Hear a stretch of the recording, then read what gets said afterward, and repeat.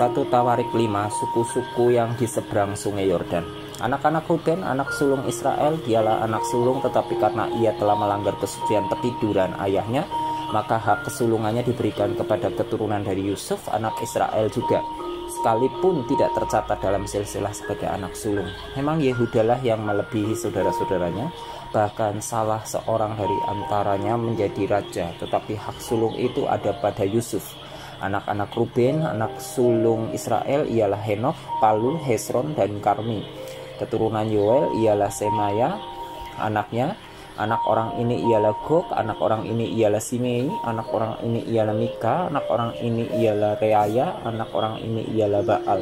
Anak orang ini ialah Bera yang diangkut ke dalam pembuangan oleh Tiglat Pilneser, Raja Asyur. Dialah pemimpin orang Ruben saudara-saudaranya menurut kaum-kaumnya seperti tercatat dalam silsilah menurut keturunan mereka. Ialah Yiel kepala lalu Sekaria. Dan Bela bin Ases bin Sema bin Yoel dialah yang diam di Arwet dan wilayahnya sampai ke Nebo dan Baal Meon dan ke sebelah timur wilayahnya sampai ke pinggir padang gurun yang terbentang mulai dari sungai Efrat sebab ternak mereka telah bertambah banyak di tanah Gilead. Di zaman Saul mereka melakukan perang melawan orang Hagri. Setelah orang-orang ini jatuh ke dalam tangan mereka, maka mereka di dalam tangan mereka diam di kemah-kemah orang-orang itu di seluruh sisi timur Gilead. Bani Gad diam berbatasan dengan mereka di tanah Basan sampai Salka. Yoel adalah kepala dan Safam orang kedua, juga Yainai dan Safat diam di Basan. Saudara-saudara mereka menurut puak-puak mereka ialah Mikael, Mesulam, Seba, Yorai, Yakan, Sia, dan Eber tujuh orang. Itulah anak-anak Abihail bin Huri bin Yaroah bin Gilead bin Mikael bin Yesisai bin Yahdo bin Bus Ahib bin Abdiel bin Guni ialah salah seorang kepala puak mereka mereka diam di Gilead di Basan dan di segala anak kotanya dan di segala tanah penggembalaan Saron sampai ke ujung-ujungnya. Mereka sekalian dicatat dalam silsilah pada zaman Yotam, Raja Yehuda dan pada zaman Yerobeam, Raja Israel. Dari Bani Ruben, orang Gad dan setengah suku Manase ada 44.760 orang yang sanggup berperang orang-orang yang tangkas yang dapat memanggul perisai dan pedang dan melentur busur panah yang terlatih dalam bertempur. Mereka itu melakukan perang melawan orang Hagri yaitu Nafis dan Nodab. Mereka mendapat bantuan melawan orang-orang itu sehingga orang Hagri itu dengan semua orang yang mengikutinya menyerahkan diri ke dalam tangan mereka sebab mereka telah berseru kepada Allah dalam pertempuran itu. Maka ia mengabulkan permintaan mereka sebab mereka percaya kepadanya. Mereka mengangkut ternak orang-orang itu sebagai jarahan untanya 50.000 ekor kambing domba 250.000 ekor dan keledai 2.000 ekor juga manusia 100.000 jiwa banyak orang yang tewas karena mati terbunuh sebab pertempuran itu adalah daripada Allah. Lalu mereka menduduki tempat orang-orang itu sampai waktu pembuangan. Setengah suku Manase diam di negeri itu mulai dari Basan sampai Baal Hermon, Senir dan Gunung Hermon, mereka sudah banyak jumlahnya. Inilah para kepala puak-puak mereka, Hefer, Yesei, Ilail, Asriel, Yeremia, Hodawya, dan Yahdiel, orang-orang pahlawan yang gagah perkasa, orang-orang yang kenamaan, para kepala puak-puak mereka. Tetapi ketika mereka berubah setia terhadap Allah nenek moyang mereka dan bersinah dengan mengikuti segala Allah bangsa-bangsa negeri yang telah dimusnahkan Allah dari depan mereka, maka Allah Israel menggerakkan hati Pul yang ditiglat Tilgat Pilneser, Raja Asyur, lalu raja itu mengangkut mereka ke dalam pembuangan, yaitu orang Ruben, orang Gad, dan setengah suku Manase. Ia membawa mereka ke Halah, Habor, Hara, dan sungai negeri Gosan. Demikianlah mereka ada di sana sampai hari ini. Satu Tawarik enam suku Lewi. Anak-anak Lewi ialah Gerson, Kehat, dan Merari. Anak-anak Kehat ialah Amram, Yesar, Hebron dan Usiel. Anak-anak Amram ialah Harun, Musa, dan Miriam. Anak-anak Harun ialah Nadab, Abihu, Eleazar, dan Itamar. Eleazar memperanakan Pinehas, Pinehas memperanakan Abisua, Abisua memperanakan Buki, Buki memperanakan Usi.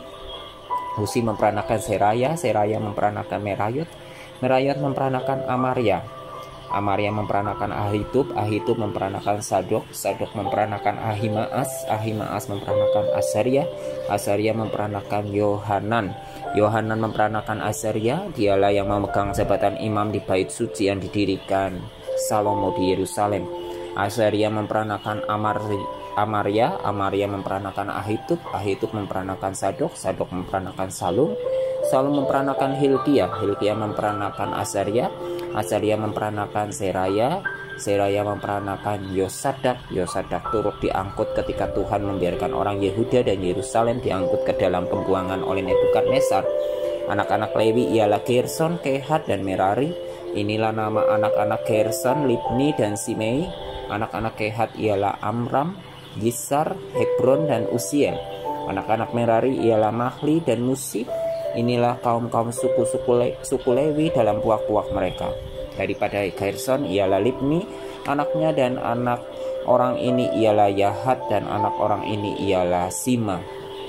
Dan anak orang ini ialah Yoah dan anak orang ini ialah Ido dan anak orang ini ialah Serah dan anak orang ini ialah Yet Yatrai Keturunan Kehat ialah Aminadab anaknya dan anak orang ini ialah Korah dan anak orang ini ialah Asir dan anak orang ini ialah Elkana dan anak orang ini ialah Ebi Yasaf dan anak orang ini ialah Asir dan anak orang ini ialah Tahat dan anak orang ini ialah Uriel dan anak orang ini ialah Usia dan anak orang ini ialah Saul anak-anak Elkana ialah Amasai dan Ahimot dan anak orang ini ialah Elkana dan anak orang ini ialah Sofai dan anak orang ini ialah Nahat dan anak orang ini ialah Eliab dan anak orang ini ialah Yeroham dan anak orang anak orang ini ialah Elkana Anak-anak Samuel ialah Yoel, anak-anak sulung dan anak-anak anak yang kedua ialah Abia. Keturunan Merari ialah Mahli dan anak orang ini ialah Libni, anak orang ini ialah Simei dan anak orang ini ialah Usa dan anak orang ini ialah Simea dan anak orang ini ialah Hagai, Hagia dan anak orang ini ialah Asaya penyanyi-penyanyi di rumah Tuhan. Inilah orang-orang yang ditugaskan oleh Daud memimpin nyanyian di rumah Tuhan sejak tabut itu mendapat tempat perhentian. Di hadapan kemah suci, yakni kemah pertemuan, mereka melayani sebagai penyanyi sampai Salomo mendirikan rumah Tuhan di Yerusalem. Mereka melakukan tugas jabatannya sesuai dengan peraturannya. Inilah orang-orang yang memegang tugas itu dengan anak-anak mereka.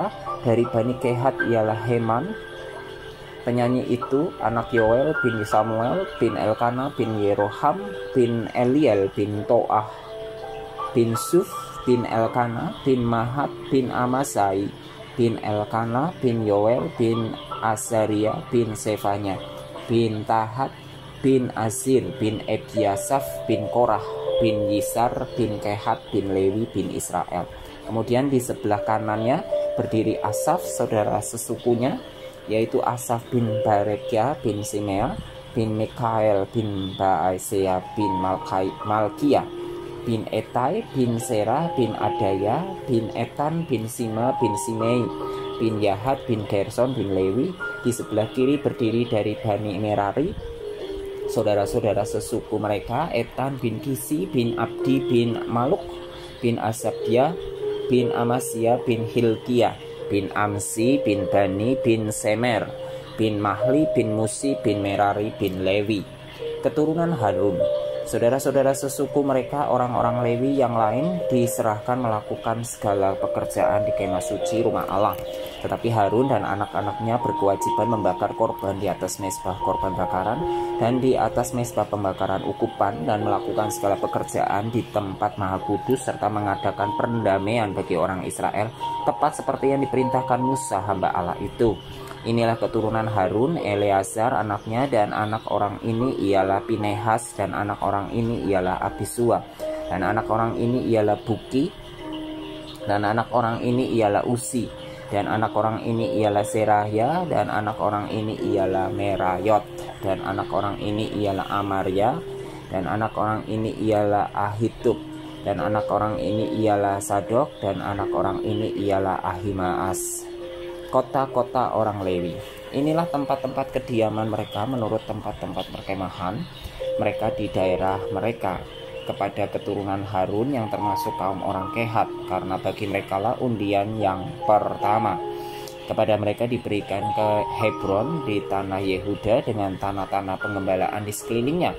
Tetapi tanah ladang kota tadi dengan desa-desanya ialah telah diberikan kepada Kaleb bin Yefun.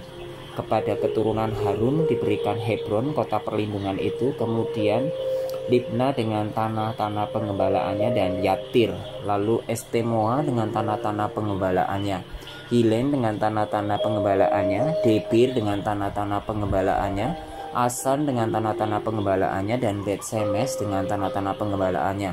Dan dari suku Benyamin, Geba dengan tanah-tanah pengembalaannya, Alemet dengan tanah-tanah pengembalaannya, dan Anatot dengan tanah-tanah pengembalaannya. Seluruhnya kota-kota mereka ada 13 yang dibagikan di antara kaum-kaum mereka. Dan keturunan Kehat yang selebihnya mendapat dengan undian 10 kota dari kaum suku itu yaitu dari suku Manase yang setengah itu. Kepada keturunan Gerson menurut kaum-kaum mereka diberikan 13 kota dari suku Isakar dari suku Asyir dan dari suku Neftali dan dari suku Manase yang di Basan kepada keturunan Merari menurut kaum-kaum mereka diberikan ke dengan undi-undi 12 kota dari suku Ruben, dari suku Gad dan dari suku Sebulan. Jadi orang Israel memberikan kepada orang Lewi kota-kota itu dengan tanah-tanah pengembalaannya. Mereka memberikan juga dengan diundi kota-kota tadi yang mereka sebutkan nama-namanya dari suku Bani Yehuda, dari suku Bani Simeon, dan dari suku Bani Benyamin. Kaum-kaum yang lain dari keturunan Kehat mendapat kota-kota dari suku Efraim sebagai daerah mereka. Kepada mereka diberikan Sikem, kota perlindungan itu dengan tanah-tanah pengembalaannya di pegunungan Efraim, lalu Geser dengan tanah-tanah pengembalaannya, Yokmeam dengan tanah-tanah pengembalaannya, Bet Horon dengan tanah-tanah pengembalaannya, Ayalon dengan tanah-tanah pengembalaannya, dan Gatrimon dengan tanah-tanah pengembalaannya. Dan dari suku Manase yang setengah itu, Aner dengan tanah-tanah pengembalaannya, dan Bileam dengan tanah-tanah pengembalaannya. Jadi kota-kota itu diberikan kepada kaum-kaum yang selebihnya dari keturunan Kehat. Keturunan Gerson mendapat dari kaum suku Manase yang setengah itu, Golan yang di Basan, dengan tanah-tanah penggembalaannya, lalu Asyitarot dengan tanah-tanah penggembalaannya dari suku Isakar, Kedes dengan tanah-tanah penggembalaannya, Deberat dengan tanah-tanah penggembalaannya, Ramot dengan tanah-tanah penggembalaannya, dan Anem dengan tanah-tanah penggembalaannya.